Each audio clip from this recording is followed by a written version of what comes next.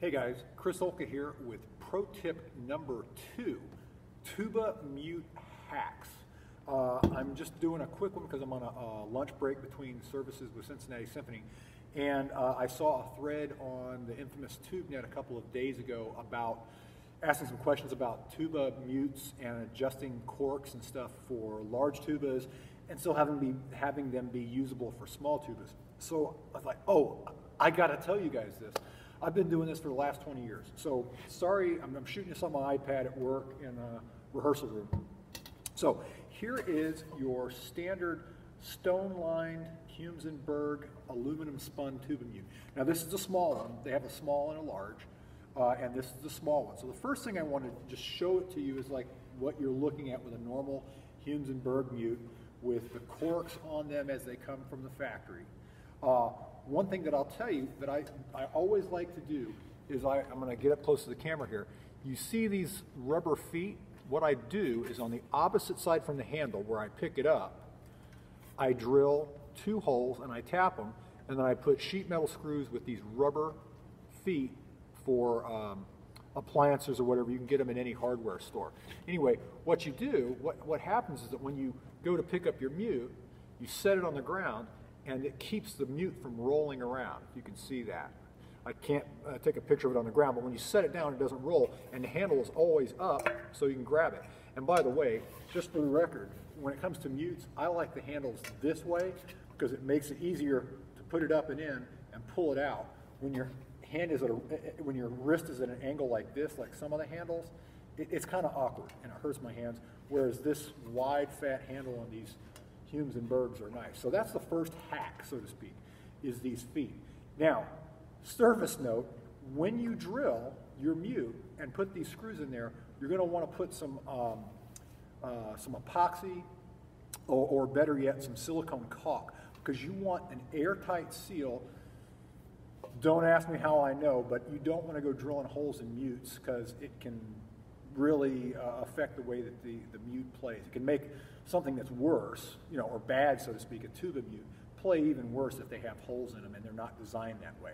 Some mutes are designed with holes, but these are not. So make sure you put a little bit of uh, silicone caulk. So as a point of reference, this is a small with your hard cork on there. And that fits, you know, your standard uh, F tubas, German F tubas, piston F tubas, um, and smaller C's and E flats. Okay, now, here's the $1,000 question. What do you do for a big tuba mute? You get yourself a one of these larger, same thing, stone-lined, spun aluminum Humes and Berg mutes. And over the corks, you can take you can take two things, one of two things. You can either take 3M two-sided tape and lay it on the sides here and here on the corks, and then over the top of it, you put either a half inch or three quarter inch pipe insulation. Now you'll see it's, it's split here, and you just slide it over, press it down on the two, uh, 3M two-sided tape, and voila. Now you've got a mute that without having to move the corks or build up the corks will fit in a six quarter tuba. Uh, the other thing that you'll notice is that once you've done that, I've got this film. What this is, is it's timpani rim tape. Uh, they put this on the rims of timpanis when they put the drum head over it so that every time you uh, tune or tighten or loosen a timpani drum head, you don't get squeaking from the head rubbing over the rim. That tape keeps it from squeaking. Well, guess what? That tape, when you put it on top of this foam, it also keeps it from squeaking when your bell, when you put the, the mute in and out of your bell. And believe me, if you don't, you will make a lot of racket every time you're in a soft passage trying to pull your mute out of the bell. So let me put it down and show you how it fits in my trusty six quarter Yama York here. So here you got Yama York, you put a mute in, wham, perfect. Now, like I said, you can either use a half inch or three quarter inch uh, pipe foam insulation. Uh, but this, I mean, it fits and it's adjustable. You can push down a little bit harder if you want. and fiddle with how it, how it fits in there to affect how the, the response is. Now you'll notice, I'm looking at the video here, you can see the feet that I've got drilled on it. I've got it on my big tube, as- uh, big mute as well. But it's, it's so nice, okay? So it's like, play, play, play, pick up the mute, pop it in, wham, good to go. And if you want to use it for a smaller, uh, for a smaller tuba, all you have to do, instead of the 3M tape, because I don't, I don't have a smaller tuba right now, but for the 3M, instead of 3M tape, you can get Velcro uh, strips and put them on the other, uh, put it there in place of the two-side tape. So you have Velcro on the foam and then the little hook and loops on the, on the cork. You can take it on and off, however you want. Now, the final hack, and I, I find this to be really helpful, is if you'll see here, I hate when, when you're, you're trying to jam it in on a fast mute change and the um, metal rim hits your bell and you get these little dings in the bell. And I try to keep my gear cherry, and it, I hate mute dings.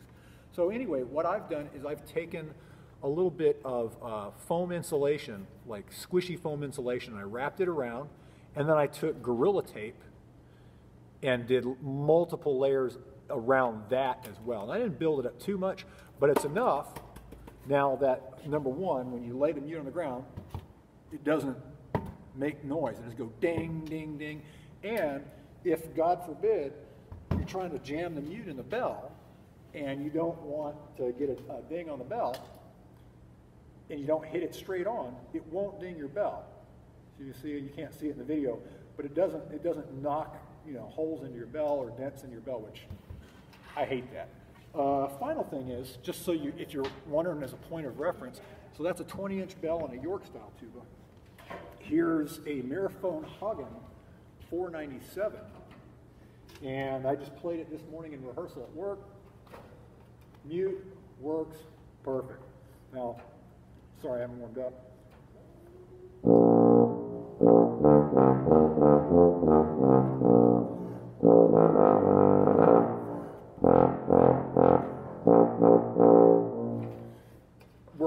Response is great. And if I don't want the mute on that, or don't want to use that mute on the big tuba, wham, take this off. This foam insulation, it's pipe insulation, it's slit down the middle.